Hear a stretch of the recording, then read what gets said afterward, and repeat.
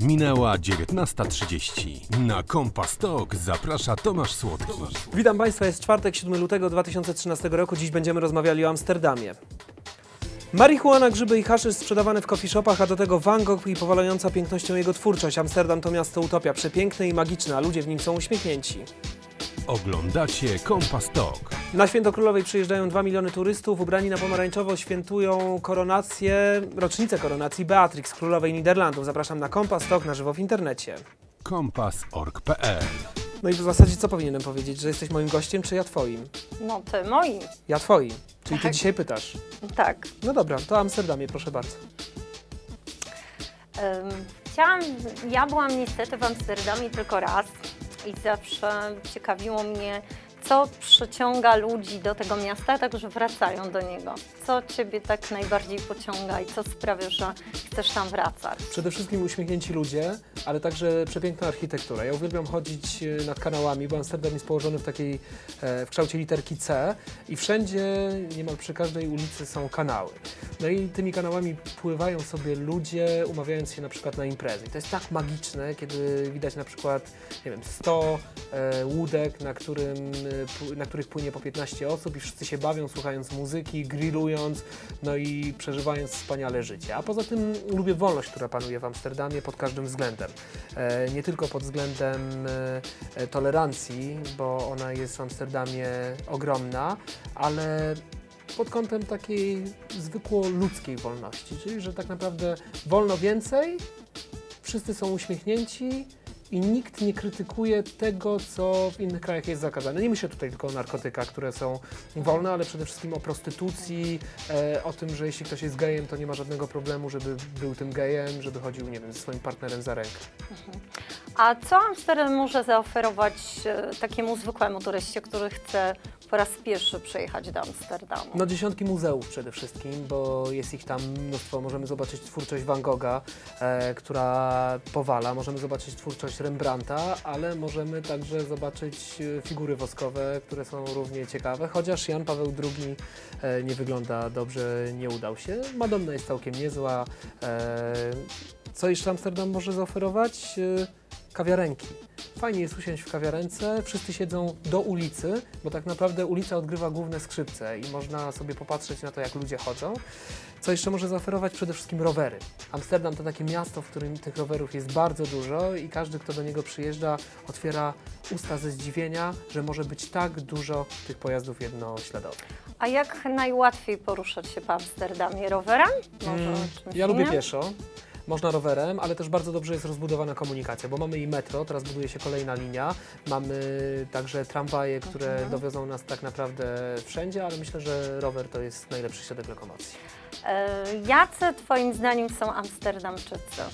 Czym oni się różnią może od innych Europejczyków? No to jest y, zabawne, ale oni są uśmiechnięci. Przede wszystkim jest y, poza Holendrami bardzo dużo ludzi, którzy przyjechali do Amsterdamu z całego świata po to, żeby poczuć trochę wolności. Spotkałem Rika z Brazylii, który powiedział, że wcale Amsterdam nie jest taki piękny, jak go widzą turyści, że życie w nim Mhm. wcale nie jest takie proste i łatwe, ale z drugiej strony nie wyobraża sobie życia e, w innej części świata. No dużo ludzi jest ze świata, więc to jest takie miasto e, multikulturowe. So, przerwę Ci, bo w tym momencie, zanim zadasz kolejne pytanie, y, obejrzyjmy zdjęcia, bo to jest właśnie Mhm, ten moment, w którym, w którym zdjęcia w kompas tak się Obejrzymy. ogląda. No dobra, to będę opisywał. Tak. E, To jest miejsce, w którym możemy kupić kwiaty. Można tutaj kupić także e, nasiona marihuany, co jest bardzo dziwne i każdego turystę zadziwia. To są domki przepiękne, każdy jest krzywy, e, ale wszystkie razem tworzą niesamowite stare miasto. Uwielbiam na to patrzeć. A tu już kanały i łódki, o których mówiłem, jest ich mnóstwo. Czasami taka duża łódka wpływa w taki wąski kanał i pan musi wybiec, żeby mm, ją odepchnąć i żeby nie uderzyła w bok. A to jest takie charakterystyczne miejsce, gdzie wszyscy sobie robią zdjęcia na napisie I'm Amsterdam. No i to jest moje ulubione miejsce. E, A, parking właśnie. rowerowy dla e, rowerów, e, trzypiętrowy. No, No i rowery, właśnie. które zachwycają tak naprawdę wszystkich.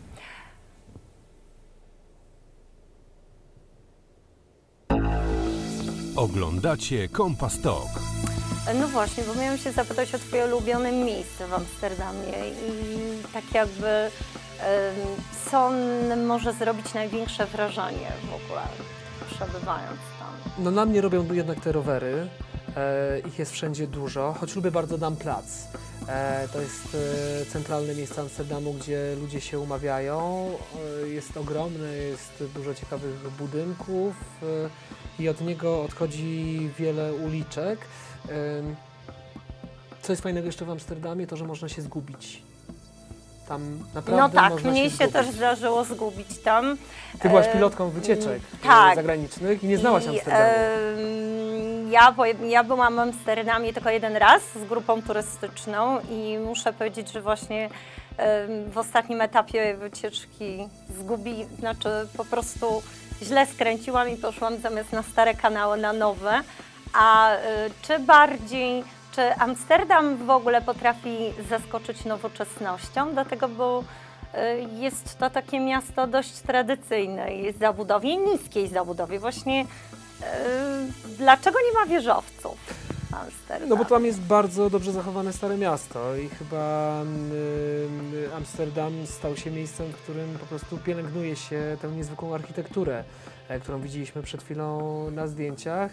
Nie wiem dlaczego nie ma wieżowców, ale to chyba dobrze, że nie ma wieżowców, tak mi się wydaje. E, To znaczy tak, e, pytam o to dlatego, bo e, Amsterdam leży na depresji, tak? Mhm. Jest tak jakby położony poniżej poziomu morza, ale depresja to tylko odnosi się do położenia niejako, nie do Do na pewno. atmosfery tego miasta, która właśnie zupełnie kontrastuje z depresją. I, I właśnie to jest też takie ciekawe. Też słyszałam o tym, że e, dachy kamieniczek tak, mają przeróżne kształty. Właśnie tak e, w momencie, kiedy się ogląda z góry, ale trudno jest oglądać właśnie z góry No tak, bo Amsterdam, bo, są zabudowa jest bardzo niska. No i zabawne jest jeszcze to, że każdy domek ma hak, ponieważ e, drzwi i korytarze w domach są tak wąskie, że bardzo ciężko przez nie cokolwiek wnieść, w związku z tym wciąga się meble na przykład e, przez ten hak. Umieszcza się takie kółko, którym, po, po którym się po prostu wciąga E. większe gabaryty i to jest bardzo ciekawe w Amsterdamie. Tak. Co, co można by było odkryć w Amsterdamie? Co jeszcze nowego, jak myślisz, możesz e, tak jakby odkryć w następnych swoich? Na przykład coffee shopy.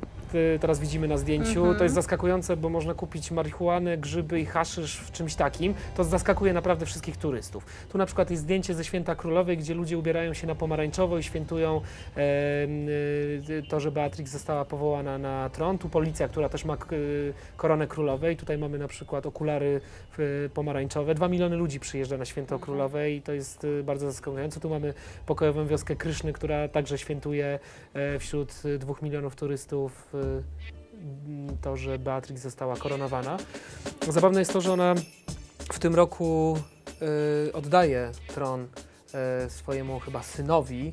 E, Będzie panowała do 30 kwietnia 2013 roku, więc to jest ostatnia okazja, żeby pojechać na święto królowej e, Beatrix. Chciałbym jeszcze wrócić, Elizo, bo pytałaś o to, czym Amsterdam może zaskoczyć. Może zaskoczyć na przykład prostytutkami w oknach.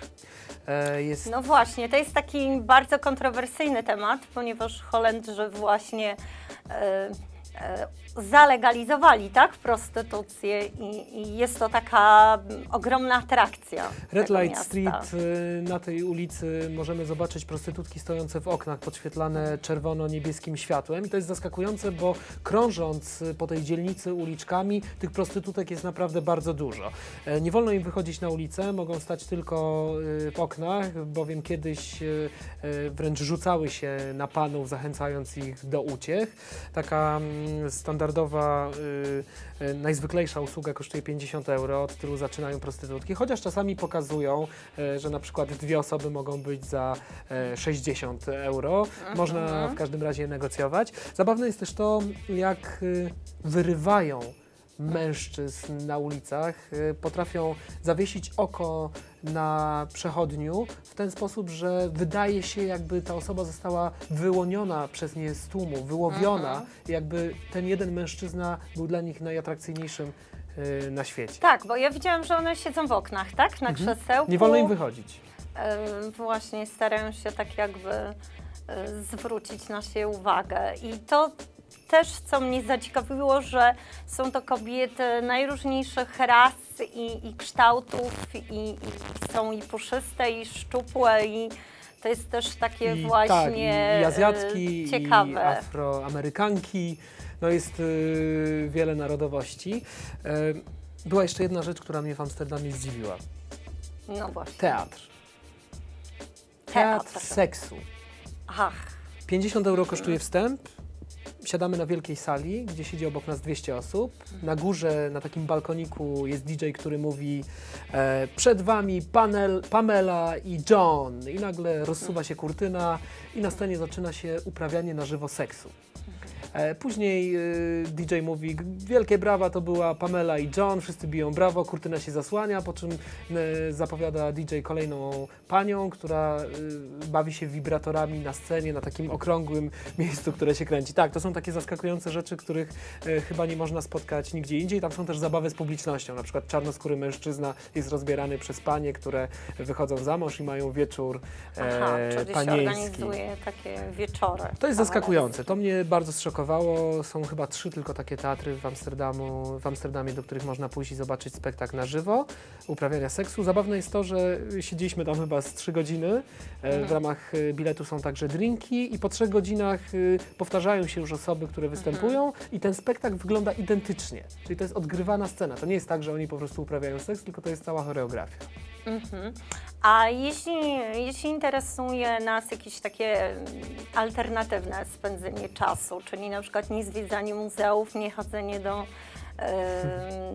do kawiarni, co można takiego mm, troszeczkę, bym powiedziała, nietypowego zrobić? Czy, czy spotkałeś się z jakimiś turystami, czy z osobami, które tam spędzały w jakiś taki ciekawy sposób, może jakiś taki mniej sensu stricte turystyczny, zwiedzając tak, muzea, galerie? Ja myślę, że przede wszystkim chodzenie po knajpkach. Bo one są bardzo przyjemne, bardzo ładne, e, można się napić piwa, można usiąść się nad kanałem i podziwiać na przykład e, architekturę miasta. Y, pozwolisz, że za chwilę wrócimy do rozmowy. Może. Kompas.org.pl E, Czy, czy Amsterdam jest e, miastem e, przygód? Zdecydowanie.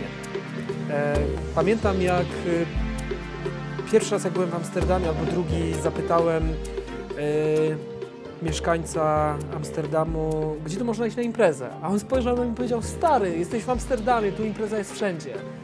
I rzeczywiście można tam e, spotkać bardzo różne e, przygody, można przeżyć zupełnie coś nowego, zobaczyć dużą liczbę rowerów, zobaczyć kanały, zobaczyć parkingi rowerowe, prostytutki, coffee shopy. No to wszystko tak zaskakuje, że pierwszy raz jak tam się jedzie, to głowa jest tak mocno otwarta, bo wszędzie w różnych krajach, w których byłem, politycy wciskają nam do głowy, że nie wolno tego, nie wolno tamtego, to jest zabronione, bo społeczeństwo nie jest dojrzałe i tak dalej.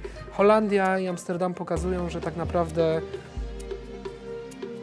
jesteśmy sterowani z góry i tak naprawdę ustawiani z góry i nie żyjemy w wolności. Tam dopiero widać tę wolność, która tak naprawdę jest w ludziach. Tutaj, tutaj nie ma żadnej wolności.